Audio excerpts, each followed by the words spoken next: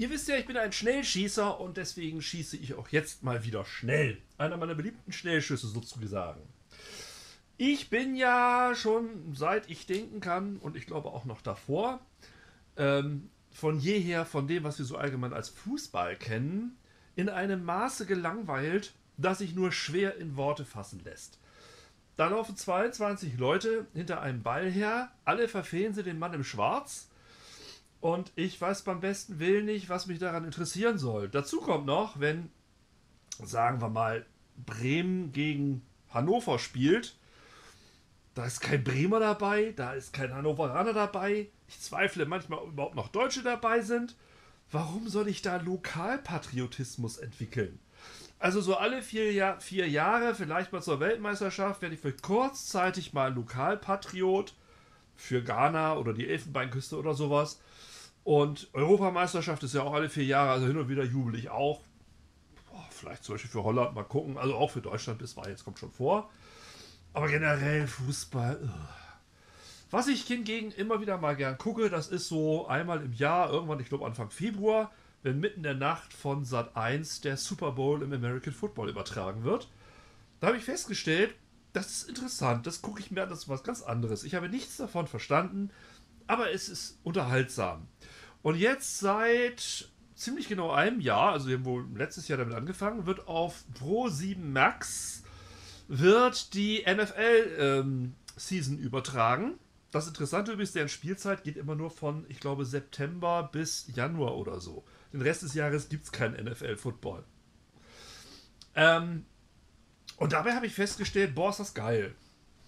Ähm, es ist mir auch relativ egal, wer da gegen wen spielt. Äh, inzwischen kenne ich zwar einige Namen, aber ich habe da eigentlich keine großen Bevorzugungen. Ich sage höchstens, das Green Bay Packers äh, Shirt ist farbi, farbenfroher als man ist wenigstens das von den äh, Giants oder so.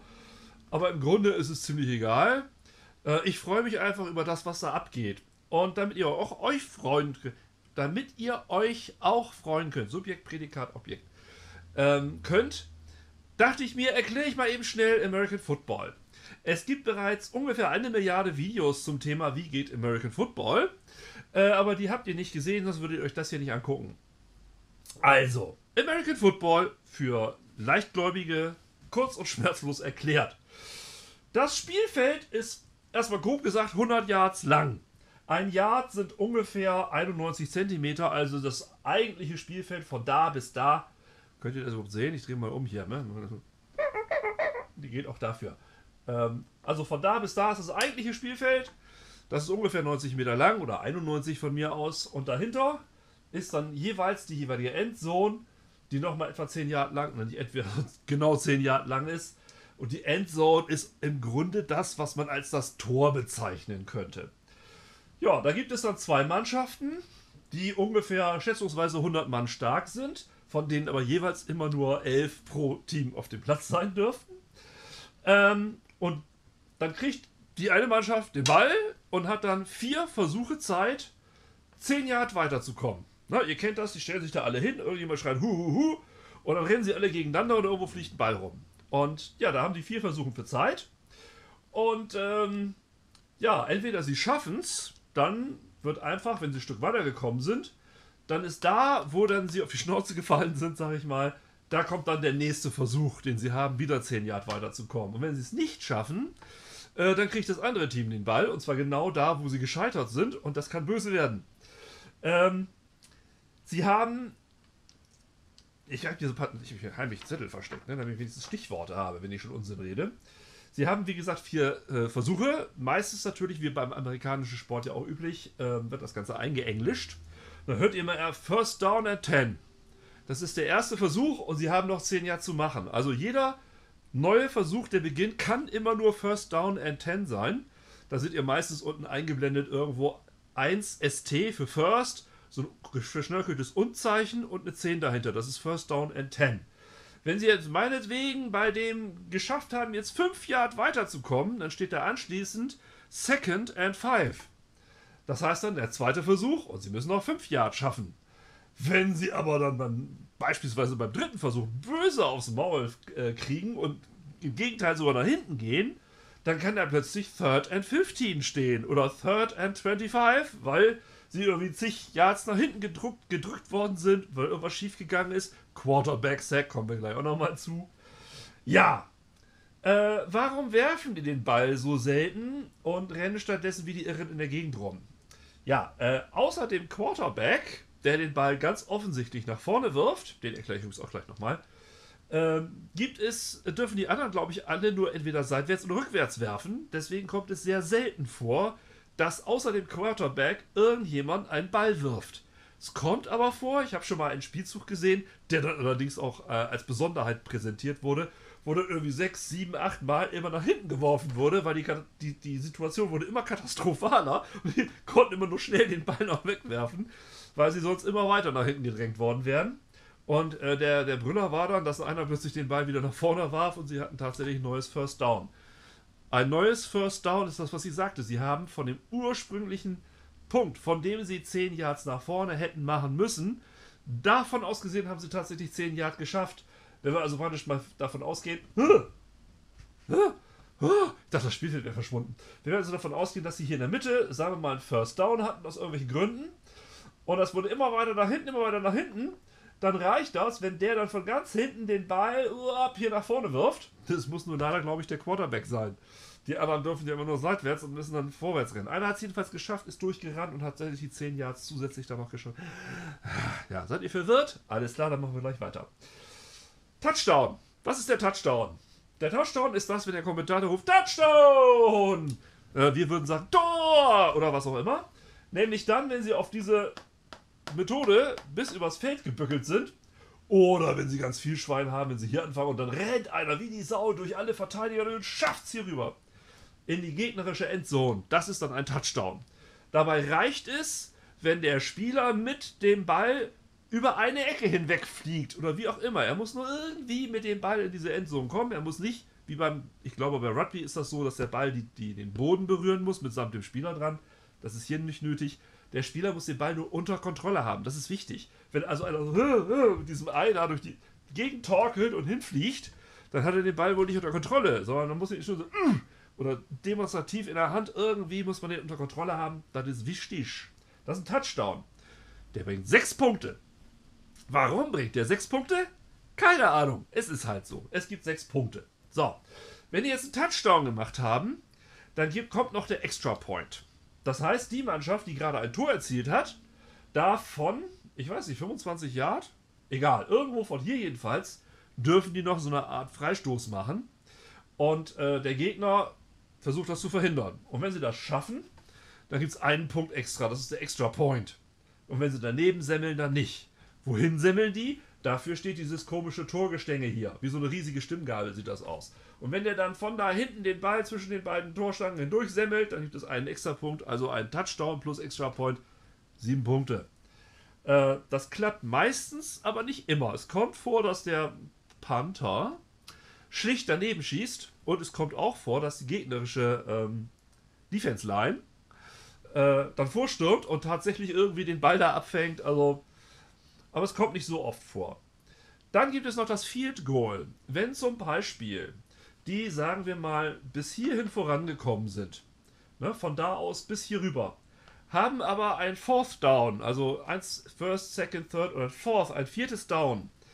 Wenn sie das jetzt nicht schaffen, die 10 Jahre weiterzukommen, dann würde der Gegner an genau dieser Stelle den Ballbesitz bekommen und könnte gleich von da anfangen, statt von da hinten zum Beispiel.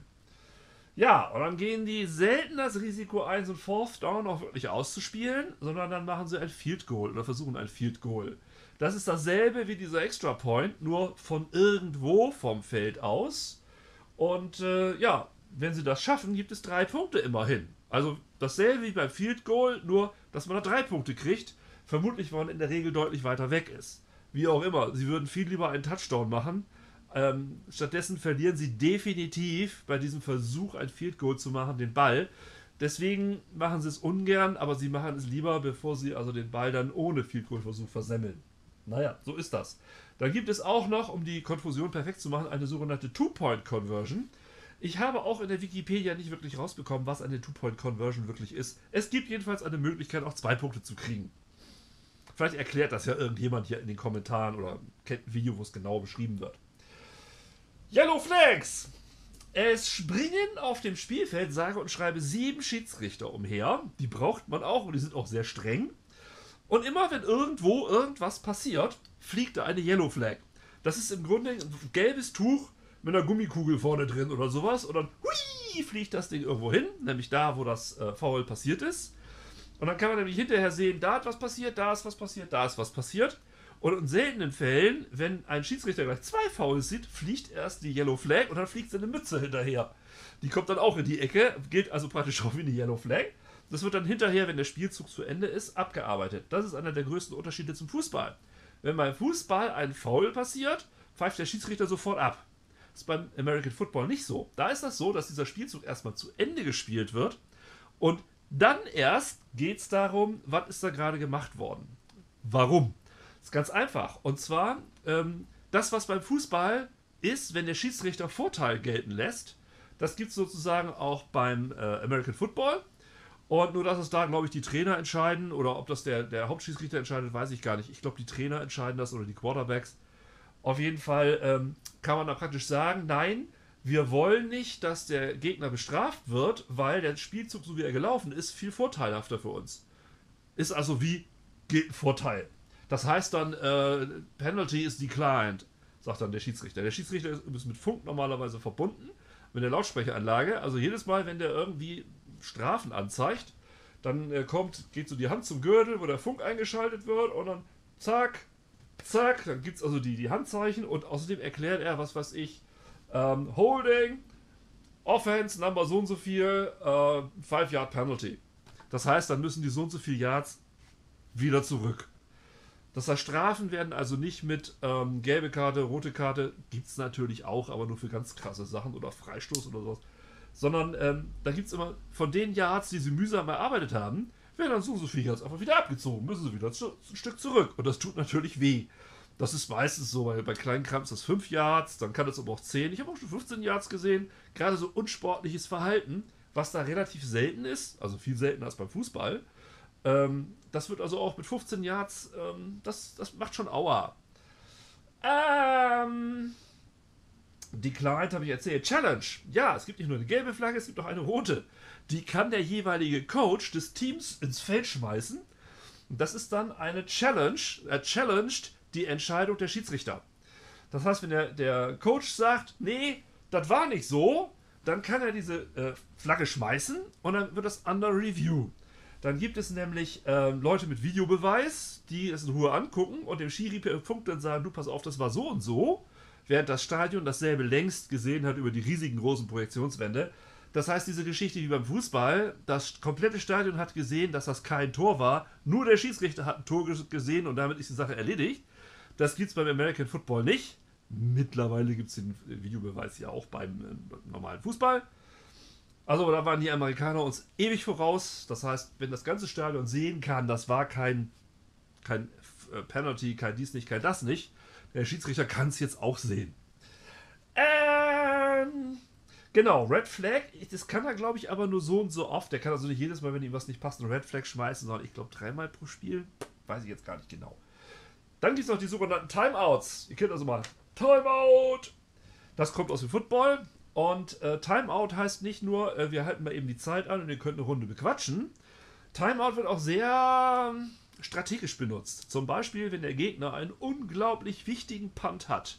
Sprich, so, so ein Abstoß, der auf große Entfernung in dieses äh, Tor spielentscheidend geht. Dann kann man relativ Gift draufnehmen, dass, wenn der Panther Anlauf nimmt, dass dann die anderen Timeout fordern. Das wird auch sofort gegeben. Das heißt, der Panther schießt, dass der Ball ist schon außer Wertung, bevor er da ankommt. Und damit versucht man dann den Panther durcheinander zu bringen. Also es wird sehr, sehr strategisch eingesetzt. Auch um in den letzten paar Sekunden noch was rauszureißen, egal. Äh, ich habe schon gesagt, elf Mann dürfen auf dem Feld sein. Es kommt durchaus vor, dass plötzlich einer sagt, 12 äh, Players on the field. Da hatten sie aus Versehen ein zu viel drin. Weil Auswechseln ist nicht wie beim Fußball, also äh, zwei pro Spiel oder vielleicht auch mal drei pro Spiel, sondern die können so viel auswechseln, wie sie wollen. Das heißt, das ist schon mal eine Offense-Line und eine Defense-Line. Das heißt, wenn die, das eine Team im Ballbesitz ist, dann sind die Leute, die da stehen, diesen Ball vorwärts bringen sollen, das ist die Offense-Line. Das sind dann häufig so, so, so Kühlschränke gepaart mit kleinen wieselflinken Rennern. Und auf der anderen Seite steht dann eine Defense Line. Die Defense Line wird entsprechend defensiv ausgestellt, also ganz andere Spezialisten. Ähm, das ist aber noch lange nicht alles. Es gibt noch ein Special Team für besondere Gelegenheiten. Dann gibt es noch, wenn ähm, ein Kickoff ist oder irgendwie ein Punt, dann gibt es da wieder Spezialisten für. Also ein, ein riesen Kommen und Gehen auf dem Feld. Immer, ich bin immer verblüfft, dass die Schiedsrichter das überhaupt im Auge haben. Aber soweit ich weiß, gibt es Leute, die hocken oben im Stadion irgendwo, sind mit Funk mit dem gegnerischen Team verbunden und sagen, ha, die haben zwölf Leute auf dem Feld gehabt und rums, rennt dann der Coach hin und seht hin, die haben zwölf Leute auf dem Feld.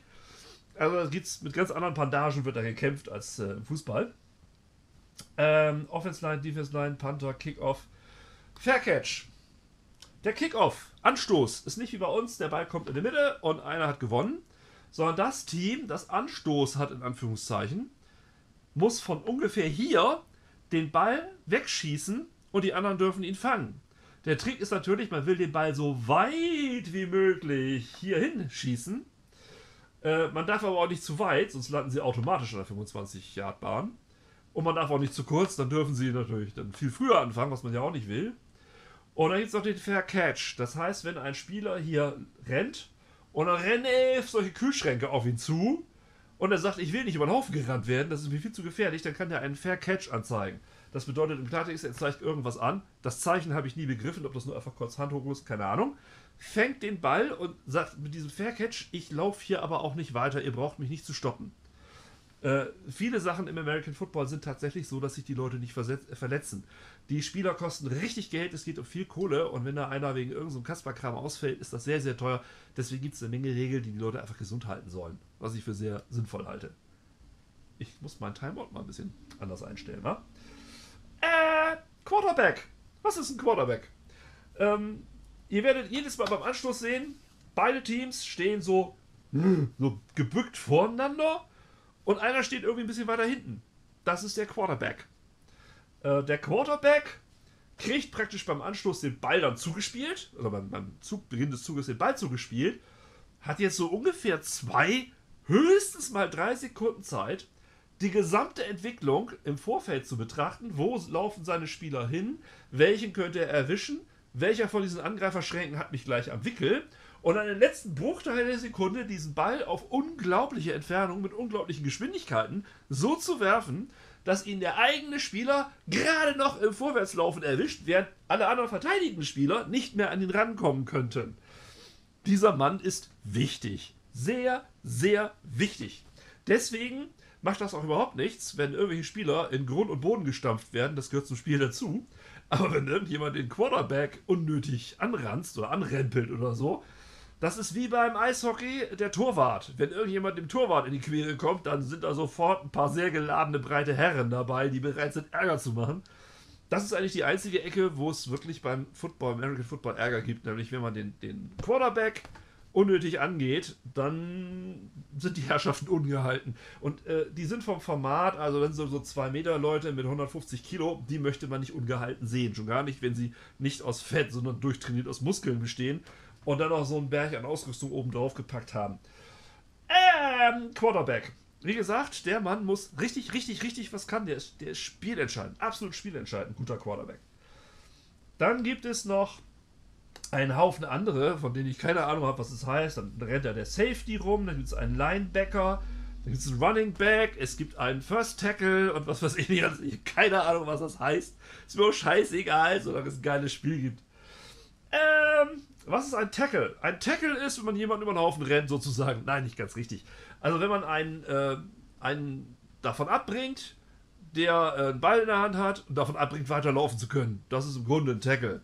Äh, wenn man ihn von den Beinen holt, sozusagen. Da gibt es bestimmte Techniken, wenn man das elegant macht, hey, das war ein schöner Tackle.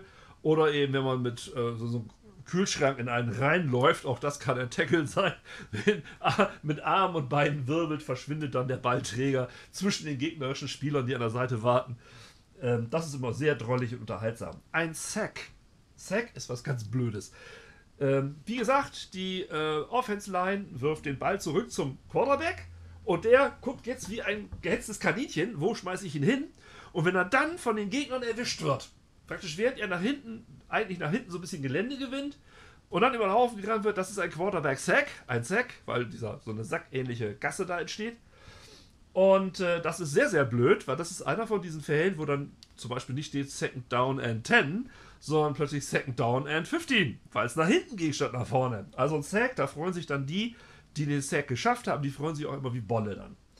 Dann hätten wir noch einen Fumble. Was ist ein Fumble? Das ist eigentlich ganz einfach. Wenn man den Ball fallen lässt, und zwar auf eine Art, in einer Position, in einer Stellung, wo der herumhoppelnde Ball von jedem Spieler aufgenommen werden darf und er ist noch gut. Das heißt, alles fängt panisch an, nach diesem Ball zu schnappen. Und wenn es dem gegnerischen Team gelingt, so einen Ball zu schnappen, dann sind die plötzlich in Ballbesitz. Der rennt dann wie blöde auf das eigen, also auf das auf, von seiner Sicht aus gegnerische Tor zu und äh, Panik, Alarm, Wahnsinn und auch dann, wenn so ein Fumble passiert und der Gegner kriegt den Ball, dann freuen die sich natürlich äh, wie Bolle, ne? wie so herummelnde Kaninchen und ja geil. Fumble ist also eine Sache, die man vermeiden sollte. Incomplete, incomplete Pass. Wenn man den Ball schmeißt und der den fangen soll, fängt ihn nicht, sondern er prallt ab oder er landet sonst wo, dann ist es ein Incomplete Pass. Das heißt im Klartext, der Ball hat sich so gesehen nicht bewegt. Äh, wenn also das First Down in 10 war, dann ist das Second Down auch 10. Hat sich da nichts geändert. Äh, Interception. Das ist genauso schlimm wie ein Fumble. Wenn der vom Team A den Ball zum Team, äh, zu seinem Fänger da wirft und einer vom Team B erwischt ihn, dann kann er sofort losrennen in die Gegenrichtung und versuchen Punkte zu machen. Das ist dann eine Interception, also abgefangen. Im Grunde ist das wie ein Fumble, ohne dass das Ding durch die Gegend kugelt, sondern dass man ihn sofort fängt. Das war eine Interception. Spielzeiten. Das ganze Spiel dauert eine Stunde, unterteilt in äh, 4 mal 15 Minuten. Ähm, es gibt College-Regeln. Also das, was ich meistens sehe, ist NFL, National Football League. Ähm, die College-Regeln, also Regeln für College-Spieler, sind etwas, etwas anders. Ähm, ich gehe da jetzt nicht auf Details ein. Zum Beispiel sind die Viertel nur 12 Minuten lang. Ähm, es gibt auch ein, ein NFL-Spieler, wenn er den Ball fängt, muss er noch mit beiden Füßen im Feld sein. Bei College-Regeln reicht, wenn ein Fuß im Feld ist, aber das sind Sachen, die müsst ihr nicht wirklich wissen.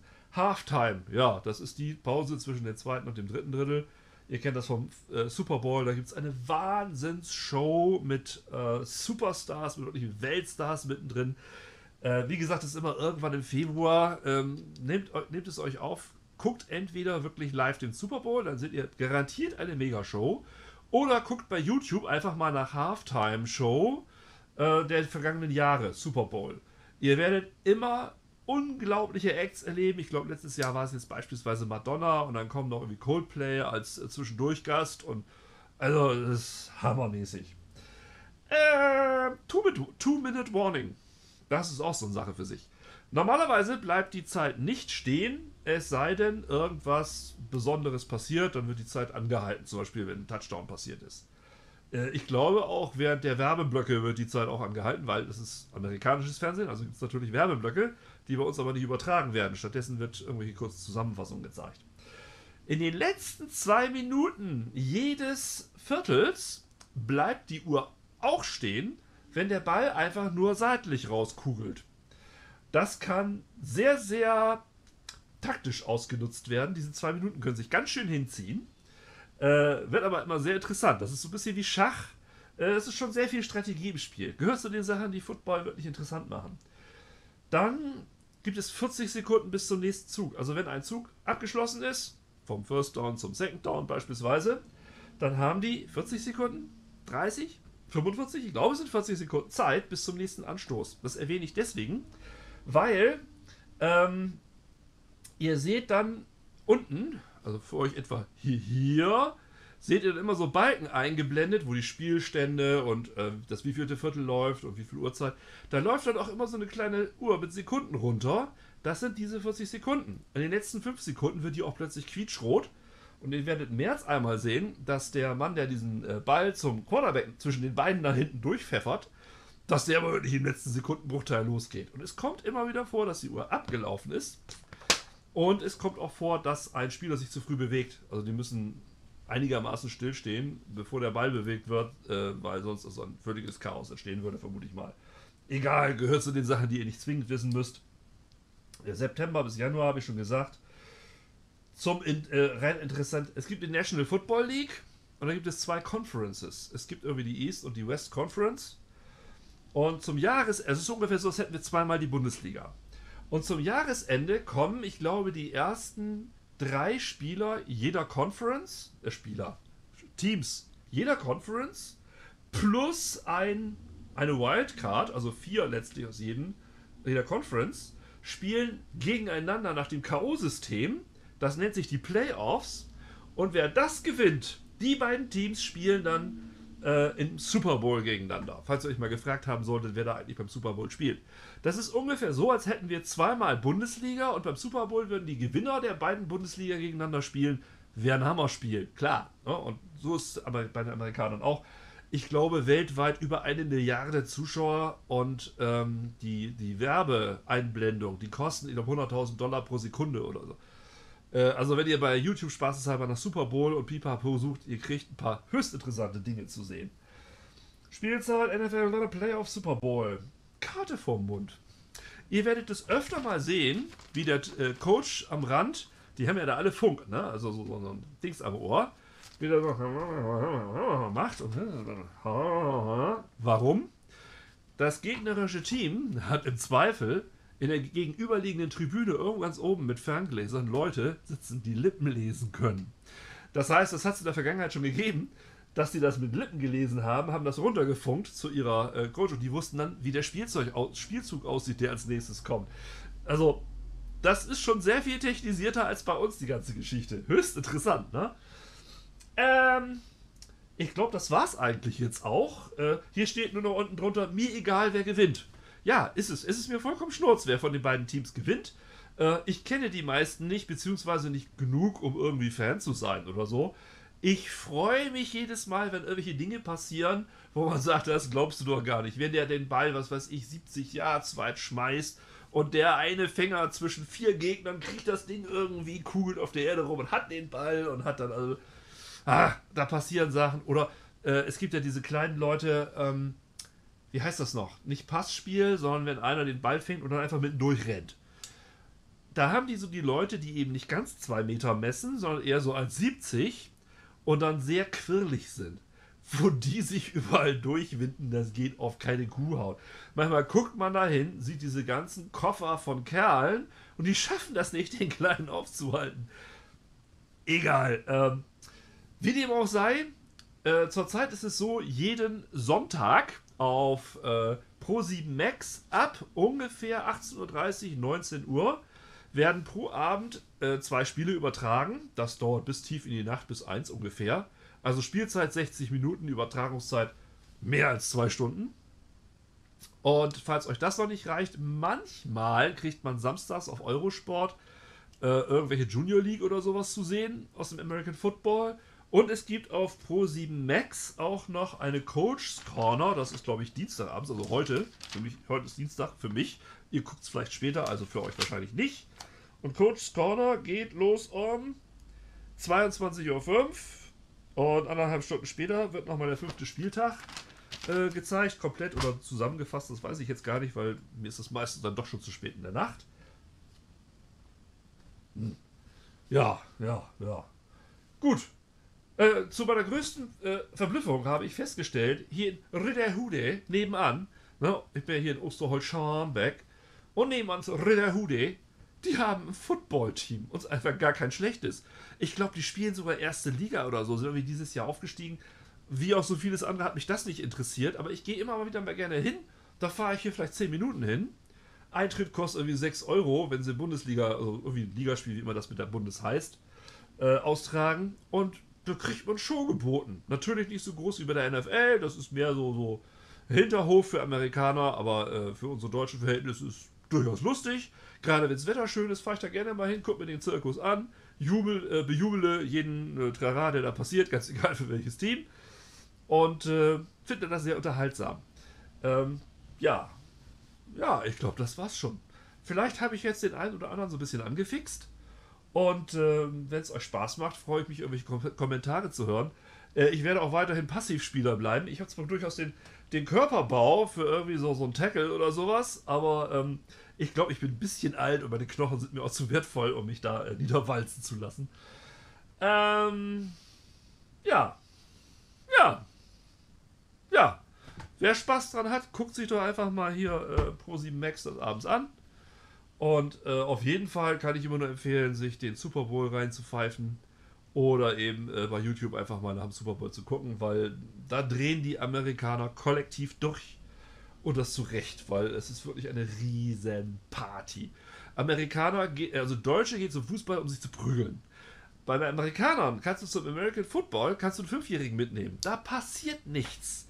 Die stehen rund ums Stadion vorher schon rum und grillen den halben Nachmittag.